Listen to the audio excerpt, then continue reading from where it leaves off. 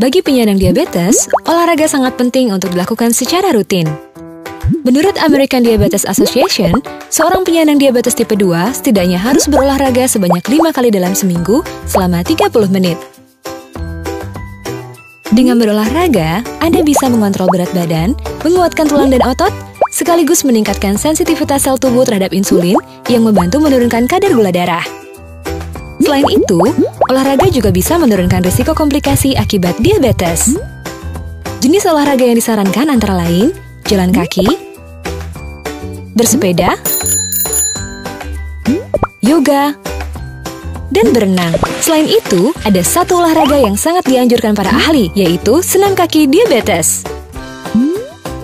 Sojoy akan menjelaskan tentang manfaat dan bagaimana melakukan olahraga senam kaki diabetes.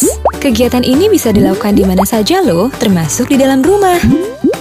Senam kaki diabetes adalah latihan gerakan kaki yang dilakukan penyandang diabetes untuk memperbaiki sirkulasi darah, memperkuat otot-otot kaki, mengatasi keterbatasan pergerakan sendi, dan mencegah komplikasi diabetes.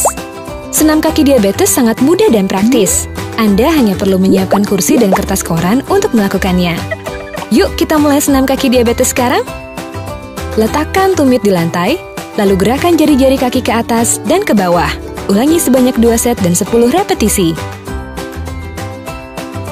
Gerakan kedua, angkat telapak kaki kiri ke atas dengan bertumbuh pada tumit. Lakukan gerakan memutar keluar dengan pergerakan pada pergelangan kaki. Ulangi secara bergantian pada kaki kiri dan kanan sebanyak 2 set dan 10 repetisi.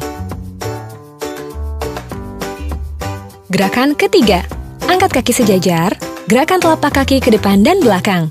Ulangi sebanyak 2 set dan 10 repetisi. Gerakan keempat, angkat kaki sejajar, Gerakan telapak kaki ke depan sebanyak 2 set dan 10 repetisi. Gerakan kelima.